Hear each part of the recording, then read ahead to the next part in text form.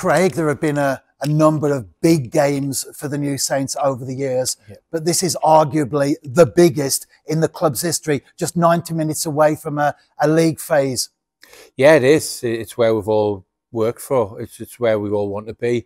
I remember speaking to Mike probably 18 months, nearly two years ago, regarding coming back to the football club as manager. And um, it was where, where Mike wanted to be, where the club wanted to be, where he felt the investment was going to be and um, and we, we are here nearly two years later in, in, in a 90 minute game away from from possibly getting to a, a, group stage of European football, which is not only I think is massive for for TNS, it I think it's it's big and massive for Welsh football. You know, we um we are we take pride in representing Wales for in European competition. So we um we we obviously want to do for our club first and foremost, but I think the the prestige and the and, and all the other things that come along with possibly qualifying, then then that would be great for Welsh domestic football as well. We spoke on the pitch, obviously, last week out there in Moldova. Since then, you've had the benefit of watching the game through yeah. again. Have your thoughts perhaps changed somewhat from what you said in the immediate interview? No, not really. Not really. Looking back, really encouraging. You know, I thought um, I thought we got our shape perfectly well. I thought we got the team perfectly well. I thought the players done an unbelievable job. You know, if you look back at it, you know, they, they played APOEL in the previous round and there was only one goal in it. It was 2-1 aggregate. You know, APOEL scored penalty and they scored a world-class goal. Um, so I think where we were, it was credit to the players and, and credit to the staff of, of our game plan and our preparation in, in how we limited them to a one shot a goal, which ended up being a goal because it took a huge deflection.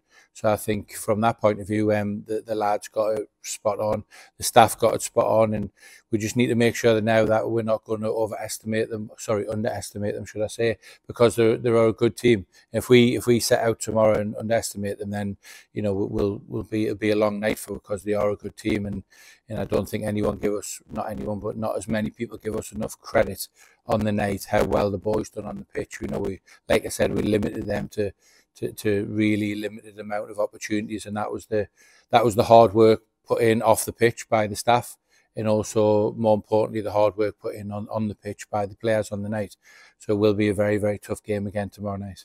And when we did our pre-match press conference last week, you said that your desire was that we would still be in the tie come the 90 minutes. And at just 1 0 down, we are very much in that position. As far as the players themselves are concerned, have you had to do anything with them in terms of focus, or do they pretty much know exactly what they have to do going into this game? Yeah, I think they do. You know, and uh, when when you going into the game away, where we needed to be and what we needed to do, like you said, we, we've done our intense homework on them, and we knew they were a good team. You know, we we've had the the first hand experience of playing APOEL Nicosia. Obviously, we drew nil nil at home and got beat 3 0 away. So they've got beat 2 1 on aggregate. So that just proves where they are, how good they are. And, um, and like I said, the players um, on a really good place. We know we know the game plan. We know what we have to do um, tomorrow night. We know that we um, we didn't underestimate them, like a lot of people may think. So you know, and also as well reflective. Then you know that you've got to be a very good team to beat Sheriff to win in the, the league in Moldova because they're a they're a hugely dominant force. You know, financially, size of the club, everything. You know, so so obviously Petra have, have had a fantastic season, got five or six full internationals in the Euro good team. But the lads know where we are. The lads know where we need to be, and um, they're fully fully on board. We had a really good training session today. We had a, a great one on Saturday. You know, match prep and, and ready with the game plan and um, at home, we're very good at home. You know, last time we got beat at home was hacking You know, and before that, I don't know when it was. So we um, we've um, done very well at home. Park Hall's always been a, a, fortress for us, and we want to make sure the same tomorrow night. You know, we are prepared, right, but we're, we're not we're not overconfident. I think just um, doing your preparation right gives you a boost and gives you a bit of confidence because the lads know what they're going in for and they know how they need to perform. And in terms of the starting 11, as you say, Craig, that is pretty much the hardest part of the job, especially with such a, a big game coming up. What kind of a head coach are you away from the public eye? Do you select your squad several days before, select your starting 11 and stick with it? Or do you find yourself often tossing and turning at night, perhaps, and mulling over things and maybe making a few changes along the way until you make the public declaration? Yeah, I think you probably have to be pretty cold and callous if you don't have any sleepless nights. It's the, it's the worst bit of the job by a million miles. Um, but I think what I seen last week, I had a had a, two plans in my mind. You know, myself, Sarge speak about a regular.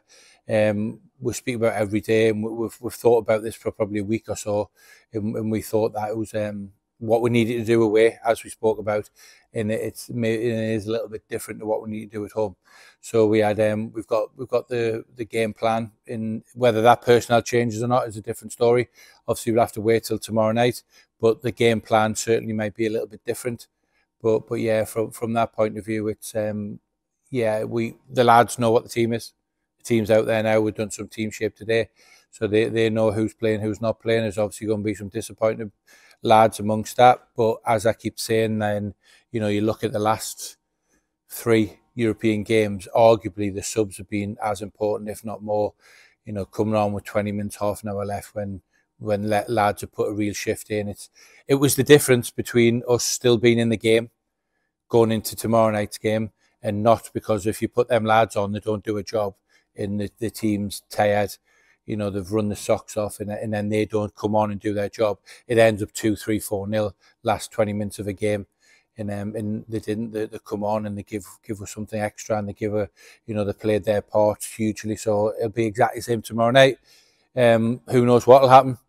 You know, we don't really want to go to extra time and penalties, but there's always that agenda, you know, there there as well. So, so substitutes and, and players' focus and minds and is going to have to be 100% on it because, like I said, you know, it could go to yeah, extra time and penalties, and if that is the case, then subs will be more important than what they have been over the 90 minutes. And as you went for that final selection, what was the injury situation like? Because obviously there are one or two players yeah. on the, the fringes of that. Did you have a, a, full squad as such to choose from? Yeah, no, Josh Pask was Josh Pask a couple of days earlier tweaked his medial ligament, but he's been back in training again, so Josh will be available again. So if anything, we've strengthened the squad. Obviously, um, Josh played the first three games um, of Europe, Decic home and away and Ferencvaros away. So he's obviously been an integral part of the, the team, you know, but Pascal will be available again, um, back available for the squad tomorrow. Craig, as always, thank you for your time. And with such a, a special game on the horizon, everyone at the New Saints wishes you, Chris Sargent, the staff, and of course the players all the very best tomorrow evening. Thank you very much, Rev. Thank you.